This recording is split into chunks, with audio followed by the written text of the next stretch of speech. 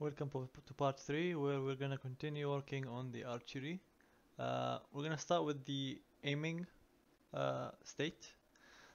But for that we're gonna have to do some camera changes so when you're doing some aiming. Now before I jump into the camera, let's just create the, the state first. And then we can jump back to the camera. You'll see some new stuff in here, you don't have to uh, be worried about this. I'll explain every single one of them once we get to them. So for now, if we go back to player bow, you're gonna see all these states right here. Just pick whichever you like. I'm gonna pick the equip because it's the most basic. I'm gonna copy it right here. Change its name to player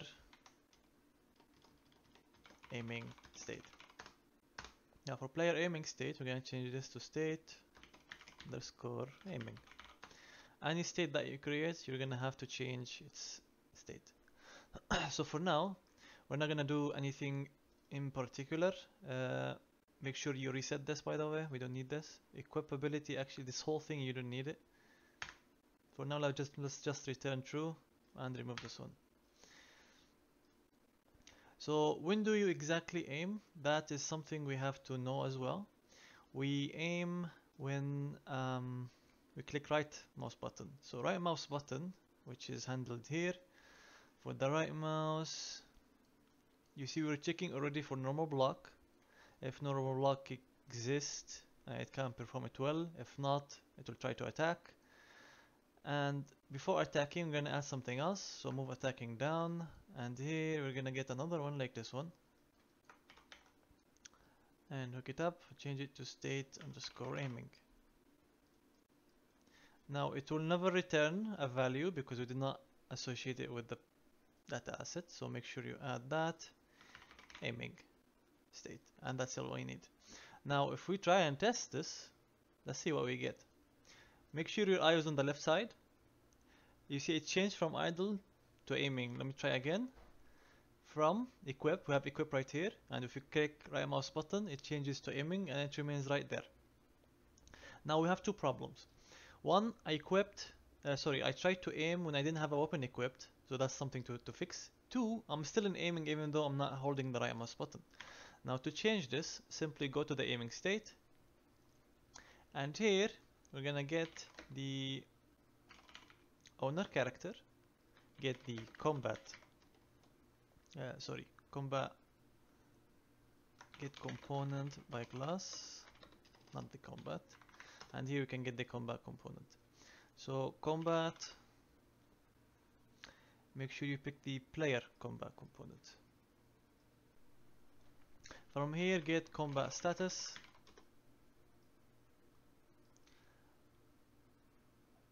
has tag. And from here in combat. Let's just type combat. In combat. This in combat happens when you equip the weapon now if you go to the equipping state which will potentially fire the equip ability if how do I know if your weapon is equipped I know it from this one Status combat or in combat means you have a weapon in hand. So that's why I'm using it in aiming state. If I do have a weapon in hand, then I have this status. So let me try now. If I hit right mouse button, nothing happens. If I do equip first and then right mouse button, it goes to aiming. Now one issue is fixed. The other one, which is the right mouse button, uh, sorry, cancelling the aiming if I leave my mouse on the right mouse button. So for that we can go to player aiming state. We have a tick as well. We can use that. Not this one, the event.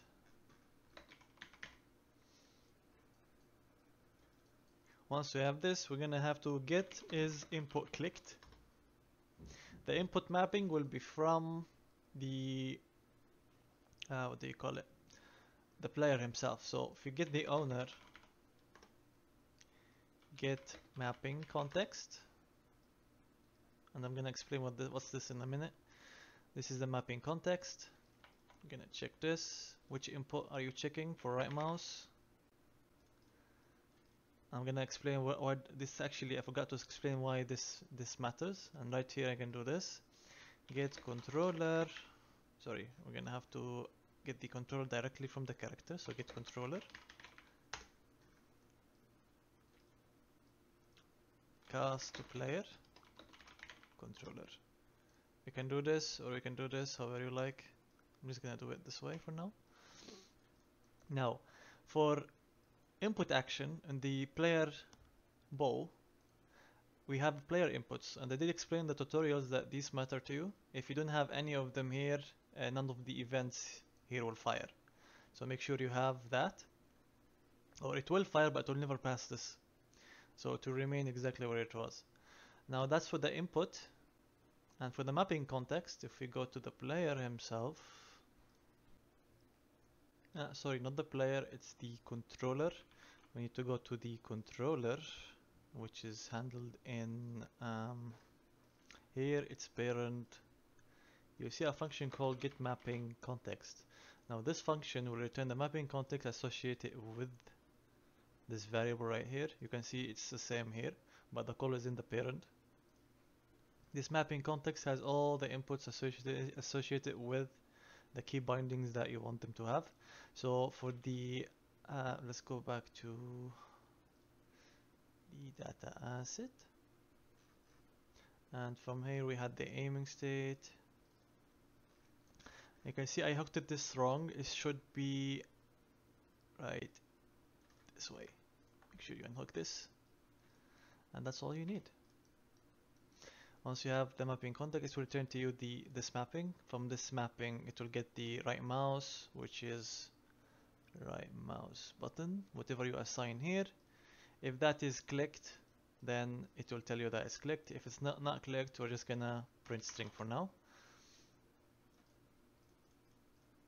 Now if we test again equip the weapon right mouse aiming. If I take it off you can see it's back to it's, it's printing. Hello that means we are uh, we're doing the right thing.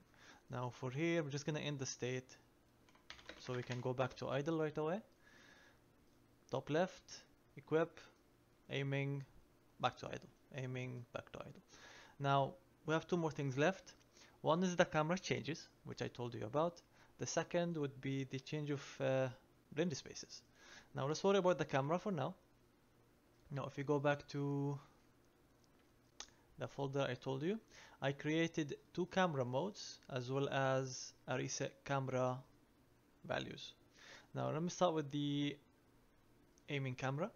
Now for aiming camera I just created uh, sorry I have this function from the parent start camera mode. I'm taking the camera mode component spring arm component saving all these variables by default. And I'm setting the camera mode to camera.mode status.looping then we have the tick camera like we have in the abilities. On this switch make sure camera mode status.looping then we're changing the target arm length to 150 using this float curve I'm gonna explain this in a second. Just uh, bear with me for now. Socket offset will be to 65 65 on the Y and Z. The camera lag will be down to zero. And we're checking if that is finished. If it's finished we set the camera mode to nothing. And the time passed of course back to zero. Now for the variables we created current target arm length current socket offset camera lag is just being set to true and the camera lag speed we're just saving it. Now we have created also time passed which is a value of zero. All these are values by default. Reset float curve will use the curve that I showed. This curve goes from it has to go from 0 my bad. From 0 0 to 0.5 value of 1 and make sure this is in the cubic interpolation. Once you have that by the way if you don't know how to create it right click here float curve and this. And that's all you need. Now I'm gonna show you the back to melee camera mode. Does the exact same thing no change except that the values here are 370 0 0 60 5 on the camera lag and at the end of it I'm setting the camera mode of a class to the melee camera one which is set by default. Now to know if this is working or not we're just gonna go to the plugin. We have uh, sorry. Camera mode component you will see it right here. I'm just gonna add you don't have to do this. And by the way this is in the plugin so make sure you don't change that. And if you do change it reset it back. I'm just gonna get current active sorry camera mode. Current camera mode if this is valid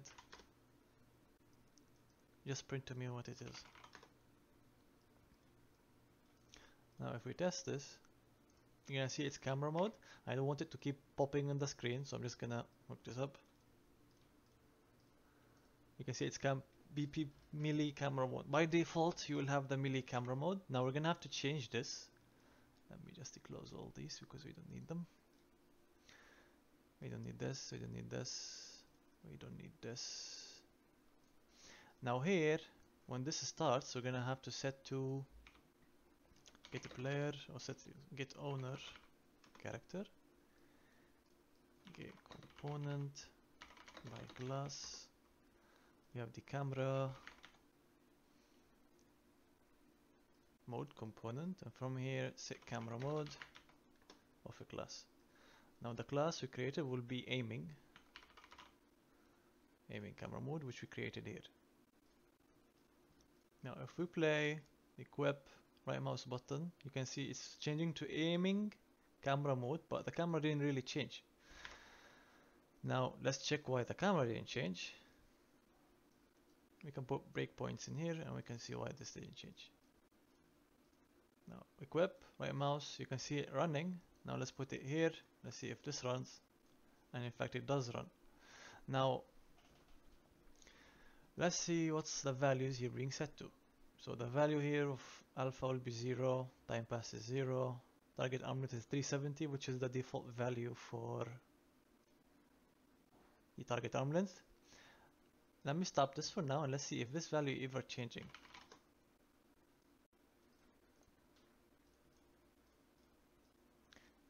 Now we right mouse button, nothing happens. Equip, right mouse button, I'm just gonna remove this. And you can see the value remains at 370. Why? Because if you go down to the sorry camera mode, you can see right here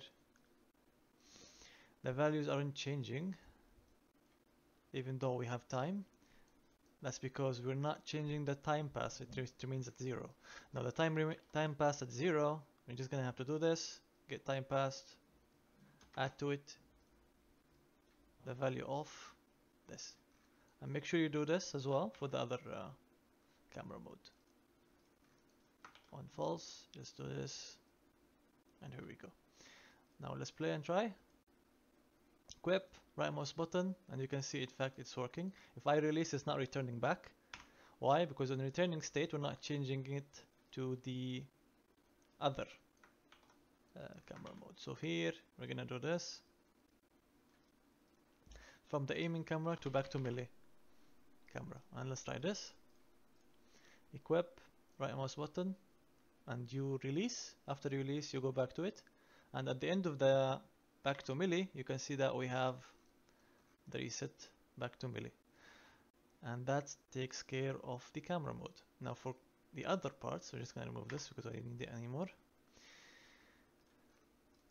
This I don't need anymore. Compile save.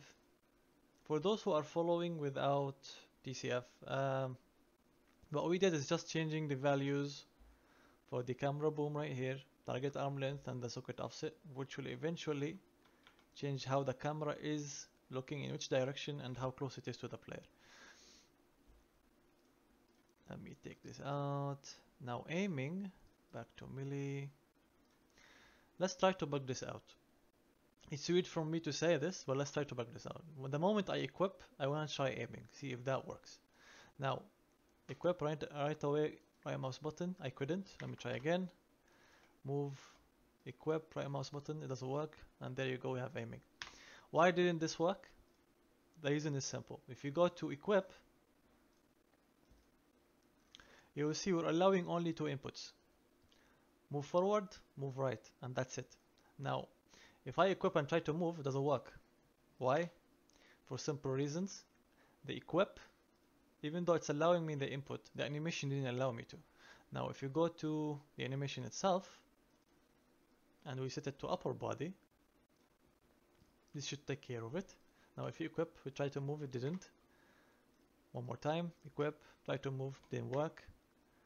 Root motion is enabled, we're gonna have to take this off. Take it off. Now we try, and in fact we can walk. One more time. Equip, try to walk, you can walk. And that's it. If you don't want to walk, enable the root motion or remove this.